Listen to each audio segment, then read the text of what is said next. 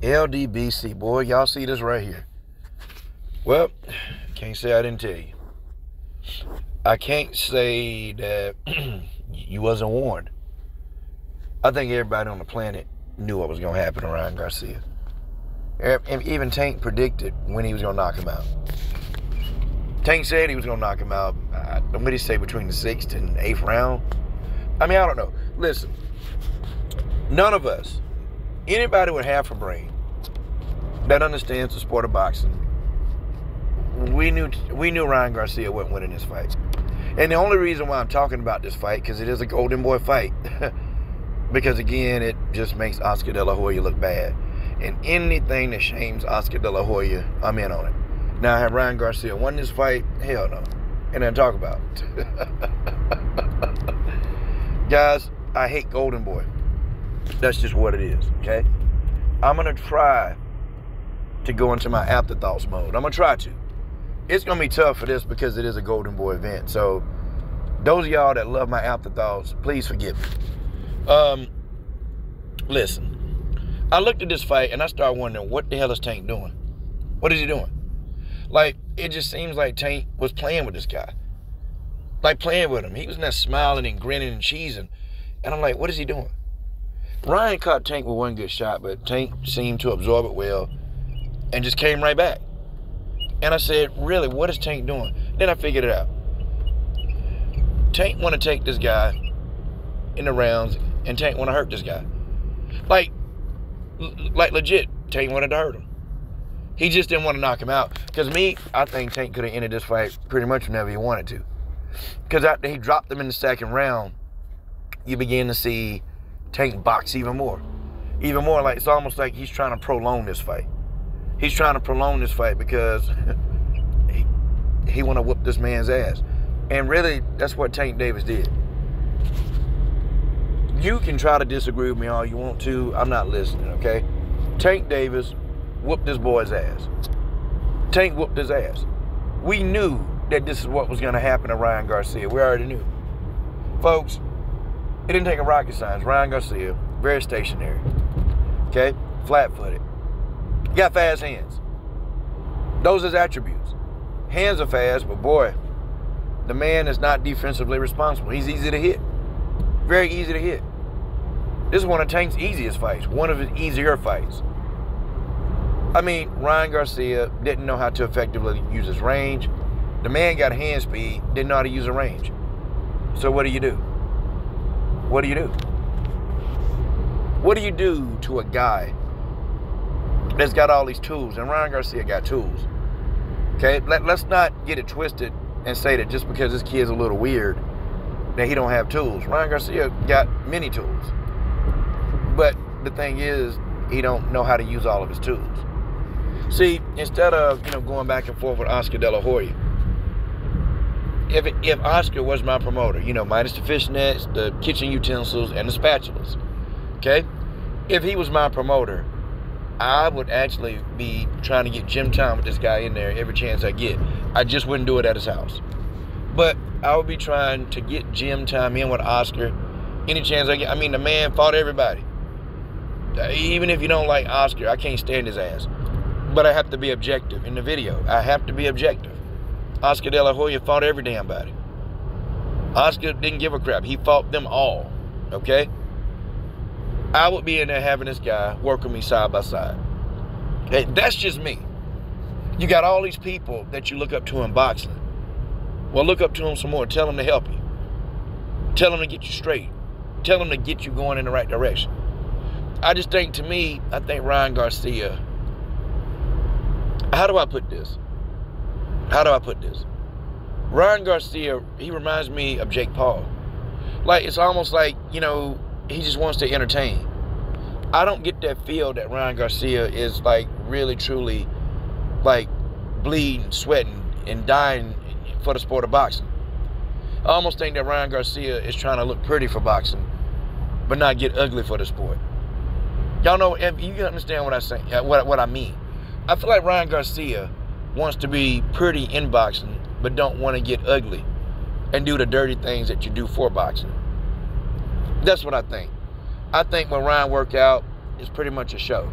Y'all remember uh, in Rocky 2 when Rocky had to fight uh, uh, Clubber Lang. And then Rocky, you know, started getting a big head and started doing all this crazy stuff, having girls at the gym and, you know, just like half training and Apollo Creed and everybody trying to tell Rocky, look, man, you got to get in here. This guy's hungry. This guy's crazy. And, you know, Rocky was kind of like, oh, yeah, you know. And Rocky didn't take Clubber Lang serious and Rocky got his ass whooped. Well, I think Ryan knew Tank could fight. I think Ryan went in there with the mindset, okay, well, I'm going to make this money. I'm going to get a payday. Um, I don't think Ryan believed, if this makes sense, I don't think he believed that he was going to beat Tank. I just think that Ryan was there to entertain. And that's what he does. Ryan Garcia entertains. Tank Davis is, is about that life. Unfortunately, he is. Tank Davis is, he's about that life. Um, and when Tank was talking about, yeah, you know, I got to be careful with Ryan Hands, it's more or less Tank trying to sell the fight. Because Tank didn't really believe that. And you have to listen to him because in the press in the press conference, when they got face to face, he told Ryan, man, I can take you out whenever I want to. And Tank told him, you ain't sh. He said, I can put you out any damn time I choose to. I can get you out of there. I can get you out of there. And he said, I am going to get you out of there. He, and, and Tank said, I'm going to make it look easy. Like, Tank got in there, boxed the hell out of this guy. Boxed him. When, when have we seen Tank stick and move a lot of times? He do it with guys that are physically bigger. And I feel like Ryan was a little bit bigger than Tank. But man, man, man, man, man, man. Tank Davis put on a boxing clinic. He put on a boxing clinic. And you know, I don't know, guys. When people start talking about Tank Davis and Devin Haney, and I don't think people are quick to say that Devin Haney would go in there and school Tank. I, I don't know. I don't know about that. I think Tank Davis is dangerous. I think Tank is dangerous as hell. And I believe that Tank pretty much has what it takes to beat those guys. Now, am I saying he'll beat them? No, I don't. I'm not saying he's going to beat, them, but you know what? it's a 50-50 fight between him, Devin, and Shakur. It's a 50-50 fight. Now, Teofimo Lopez, uh, he can't beat nobody. But them three is 50-50. Straight up 50-50. Um, I do have to give a shout out, like, uh, at least Ryan Garcia, he knew the danger. At least he wanted to fight Tank. For whatever his reasons were, I don't care. There are a lot of people getting on this fight. Uh, Tank could have fought somebody more difficult. Tank could have. Look, man. Ryan Garcia was thought to be, you know, one of the best fighters in the world. Tank Davis was thought to be one of the best fighters in the world. And the two guys wanted to fight. They physically wanted to fight each other. And that's what made this really that's what made this great. Is that they wanted to fight each other. They they, they wanted to be about that life. They wanted to fight each other. They wanted to. And and the fight happened. Okay? We're gonna get a lot of fights this year in boxing. I, I'm I'm sure. Boxing is probably starting to finally listen to the fans for a change. Finally. But what does Ryan Garcia need to do next? Um, well, stop making up these excuses like hydration. Come on, man. Come on. Come on. See, don't y'all find this funny? When Oscar De La Hoya had to fight Floyd Mayweather, you know, Oscar, they had all the advantages. Oscar did the same thing to Floyd. Made Floyd, you know, put a bunch, put a pair of ten ounce gloves on.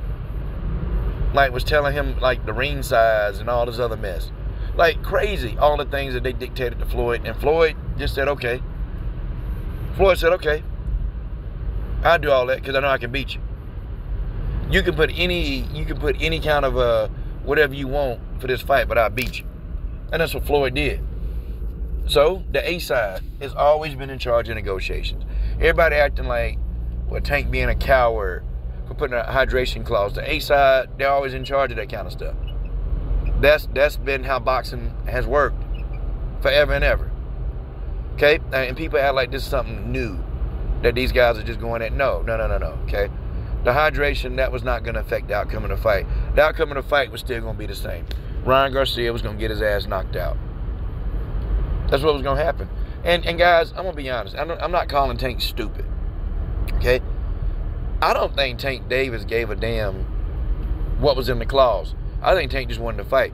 I think that that was Leonard Ellerbe and Mayweather Promotions negotiating, okay? Or, you know, scratch that. It was Tank, Tank's team that was giving all these negotiations. I don't think Tank verbally himself was talking about, who.